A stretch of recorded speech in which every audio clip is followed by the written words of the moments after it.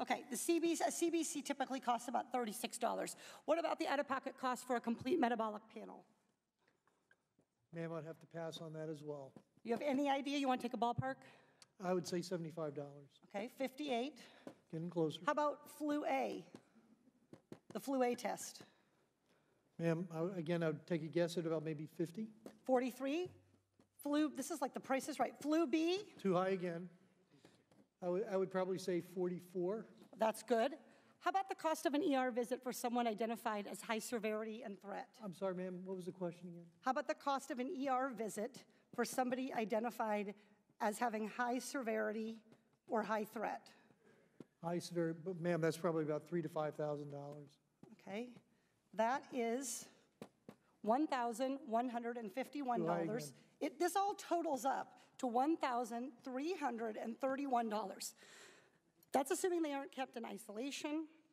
Isolation can add up for one family already, $4,000. And fear of these costs are going to keep people from being tested, from getting the care they need, and from keeping their communities safe. We live in a world where 40% of Americans cannot even afford a $400 unexpected expense. We live in a world where 33% of Americans put off medical treatment last year.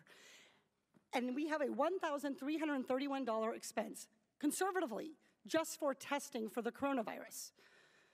Dr. Redfield, do you want to know who has the coronavirus and who doesn't? Yes. Not just rich people, but everybody who might have the virus? All of America. Dr. Redfield, will you commit to the CDC right now using that existing authority to pay for diagnostic testing free to every American, regardless of insurance? Well, I can say that we're going to do everything to make sure everybody can No, get the not care good they enough. need. Reclaiming my time. Dr. Redfield, you have the existing authority.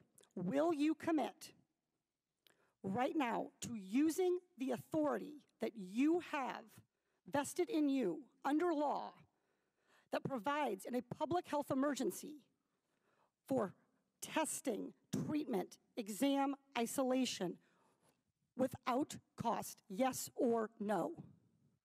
What I'm going to say is I'm going to review it in detail with No, CDC I'm and the department. my time. Dr. Redfield, respectfully, I wrote you this letter along with my colleagues, Rosa DeLauro and Lauren Underwood, Congressman Underwood and Congressman DeLauro. We wrote you this letter one week ago.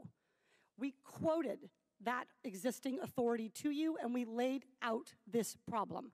We asked for a response yesterday. The deadline and the time for delay has passed. Will you commit to invoking your existing authority under 42 CFR 71.30 to provide for coronavirus testing for every American, regardless of insurance coverage?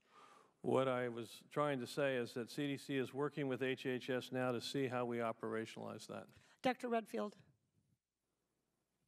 I hope that that answer weighs heavily on you because it is going to weigh very heavily on me and on every American family. Our intent is to make sure every American gets the care and treatment they need at this time of this major epidemic, and I'm currently working with HHS to see how to best operationalize it. Dr. Redfield, you don't need to do any work to operationalize. You need to make a commitment to the American people so they come in to get tested. You can operationalize the payment I th- structure I tomorrow. I think you're an excellent questioner, so my answer is yes. Excellent. Everybody in America hear that. You are eligible to go get tested for coronavirus and have that covered regardless of insurance.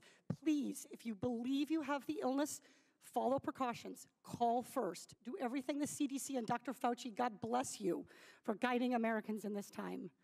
But do not let a lack of insurance worsen this crisis.